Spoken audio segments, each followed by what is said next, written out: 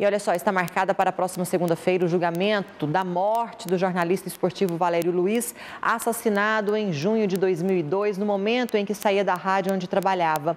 Um dos réus é o empresário Maurício Sampaio, que passou a ser representado pelo advogado Luiz Carlos Silva Neto. Hoje à tarde, o defensor garantiu que irá comparecer ao júri, mas pediu que o juiz e os três promotores do caso sejam afastados, pois considera que eles possam atuar com parcialidade.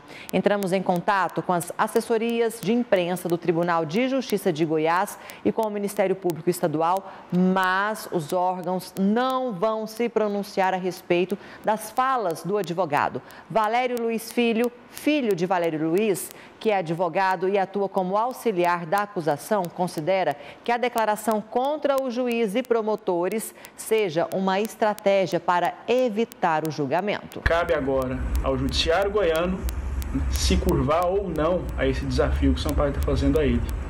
E cabe também né, a todo o Poder Judiciário do país aceitar ou não ah, o desafio que a criminalidade está fazendo a ele.